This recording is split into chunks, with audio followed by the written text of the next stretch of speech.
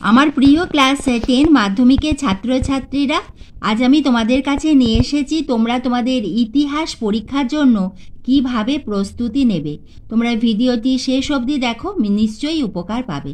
তোমাদের বাংলা এবং ইংলিশ পরীক্ষা কেমন হয়েছে, অতি অবশ্যই আমাকে কমেন্ট বক্সে লিখে জানিও।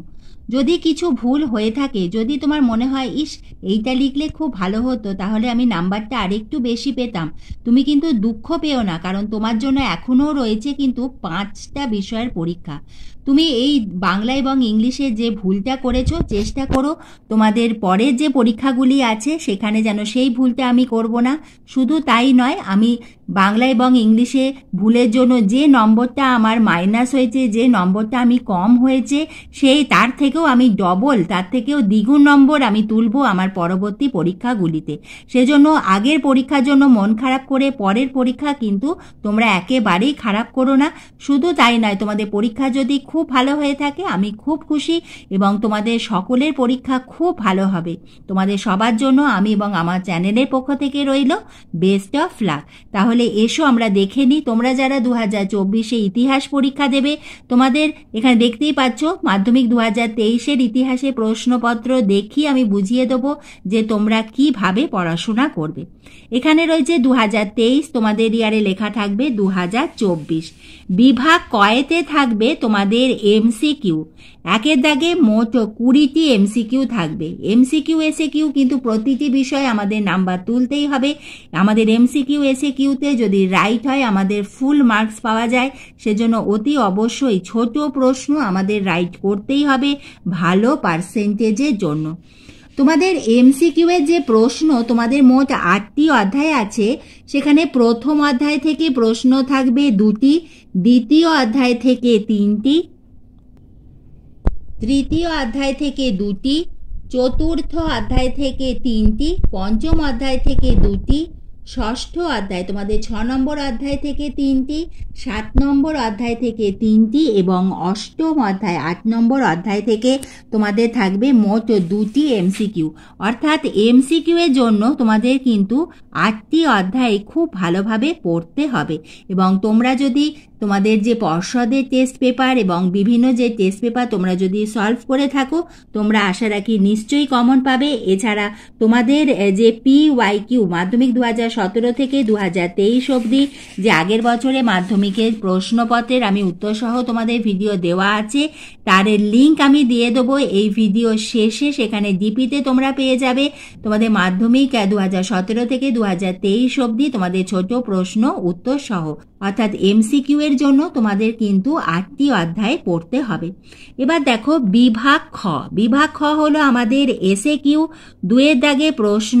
এখানে কিন্তু আমাদের মোট ষোলোটি প্রশ্নের উত্তর লিখতে হবে এবং এখানে থাকবে মোট কুড়িটি প্রশ্ন। আমাদের বিভাগ ক্ষয়ে যে এসে কিউ এখানে আমাদের ইতিহাসের ক্ষেত্রে ইহা খুবই গুরুত্বপূর্ণ। আমাদের উপবিভাগ থাকে এবং প্রতিটি উপবিভাগ থেকে অন্তত একটি প্রশ্নের উত্তর তোমাকে দিতেই হবে। আমাদের এই বিভাগ ক্ষয়ে মোট পাঁচটি উপবিভাগ রয়েছে। উপবিভাগ দুই দশমিক একেতে হলো একটি বাক্যে উত্তর দাও। উপবিভাগ দুই দশমিক দুয়ে ঠিক বা ভুল নির্ণয় করো।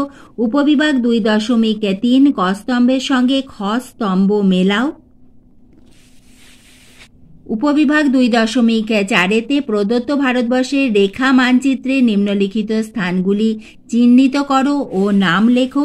উপবিভাগ দুই দশমিক পাঁচেতে নিম্নলিখিত বিবৃতিগুলির সঙ্গে সঠিক ব্যাখ্যাটি নির্বাচন করো। আমাদের এখানে যে মোট কুড়িটি প্রশ্ন থাকবে, তার মধ্যে আমাদের যে কোনো ষোলোটি প্রশ্নের উত্তর লিখতে হবে। এখানে কিন্তু তোমাকে প্রতিটি উপবিভাগ থেকে একটি অন্তত উত্তর তোমাকে করতেই হবে। মানে উপবিভাগ দুই দশমিক চারেতে তোমাদের যে ম্যাপ পয়েন্টিং আছে, সেখান থেকে কিন্তু তোমাকে একটা অন্তত করতেই হবে এবং এখানে সাধারণত তোমরা একটি ম্যাপ পয়েন্টিং তোমাদের ভূগোল থেকে পেয়ে যাবে। এছাড়া আমাদের যে দুই দশমিক পাঁচ আছে, সেখানে আমাদের যে বিবৃতি রয়েছে, তার সঙ্গে আমাদের সঠিক ব্যাখ্যা লিখতে হয়। আমাদের তিনটি ব্যাখ্যা রয়েছে, যেটি সব সব থেকে তোমার ঠিক মনে হবে, সেই ব্যাখ্যাটাই তুমি লিখবে।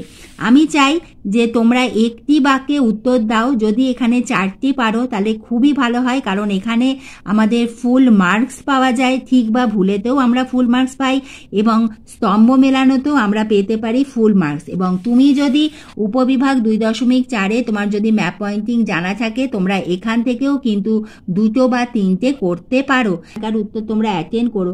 কারণ এখানে এখান থেকে আমাদের একটি করতেই হবে।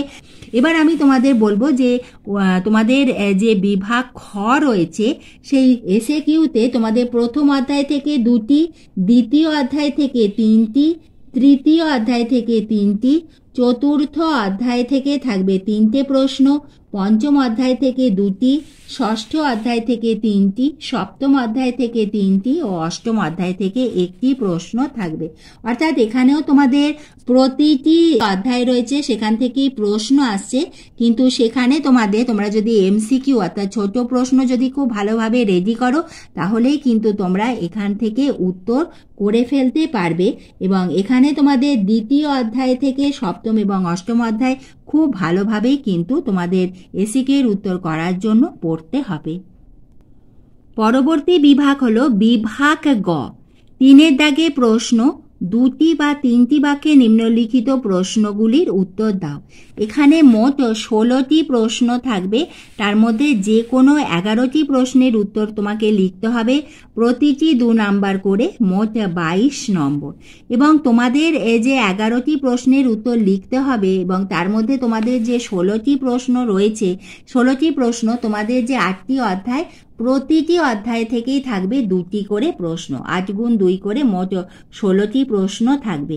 এবং এই বিভাগ গয়ে টু মার্কসের জন্য আমি চাই তোমরা দ্বিতীয় অধ্যায় থেকে শুরু করে সপ্তম অধ্যায়, এই যে ছয়টি অধ্যায় আছে তোমরা যদি খুব ভালোভাবে পড়তে পারো, তাহলে তোমরা নিশ্চয়ই সেখান থেকে তোমাদের উত্তর কমন পেয়ে যাবে।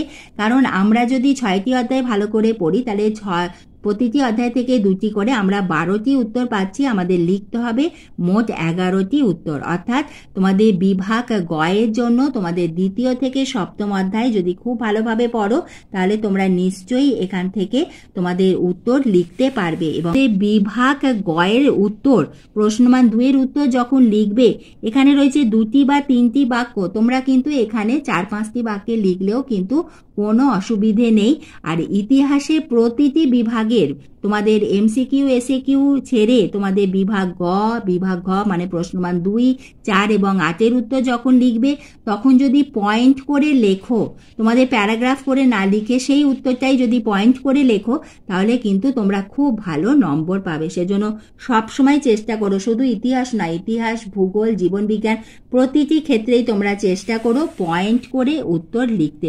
যদি পয়েন্ট না করতে পারো, এইভাবে পাশে বুলেট করে তোমরা কিন্তু লিখতে পারো। তাহলেও কিন্তু পরীক্ষকের বুঝতে সুবিধা হয় তুমি কটি পয়েন্ট লিখলে। আমাদের পরবর্তী বিভাগ বিভাগ ঘ।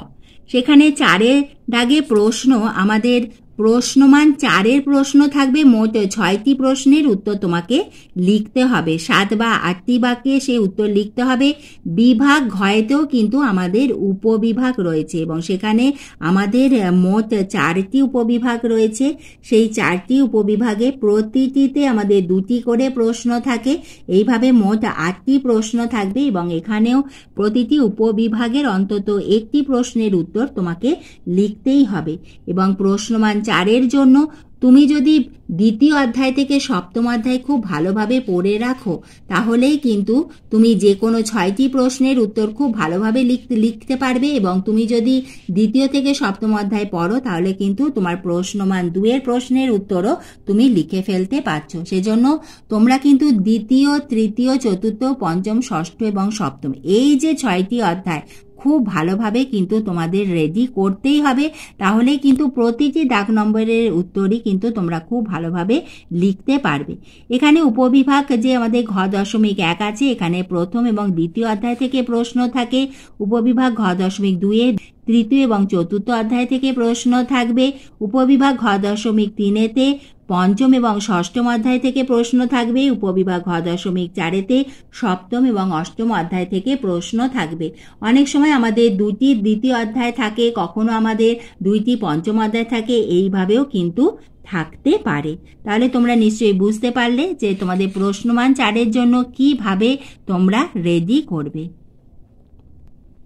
আমাদের পরবর্তী বিভাগ বিভাগ উ, পাঁচের দাগে প্রশ্ন, পনেরো বা ষোলোটি বাক্যে যে কোনো একটি প্রশ্নের উত্তর তোমাকে লিখতে হবে, যার প্রশ্নমান হলো আট।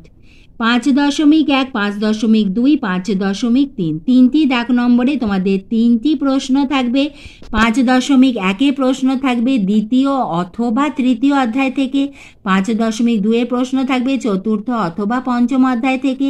পাঁচ দশমিক তিনের প্রশ্ন থাকবে ষষ্ঠ অথবা সপ্তম অধ্যায় থেকে।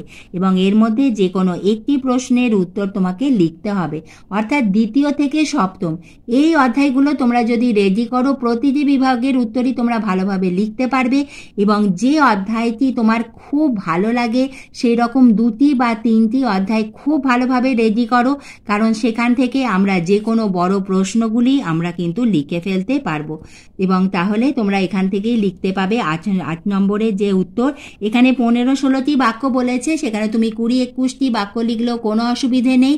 এবং এই যে তোমাদের প্রশ্নমান আটের উত্তর, সেটা কিন্তু তোমাদের প্রবন্ধ রচনার সময় যেভাবে লেখো তোমাদের পয়েন্ট থাকে ভূমিকা এবং তারপরে যে পয়েন্টগুলো করো এবং শেষে যে তোমাদের উপসংহার থাকে, এখানে লাস্ট যে পয়েন্ট সেটি তোমাদের উপসংহার না লিখে লিখবে মূল্যায়ন। লিখে তোমাদের যদি সেইভাবে উত্তর লেখো, তোমরা কিন্তু আটে আটও পেতে পারো।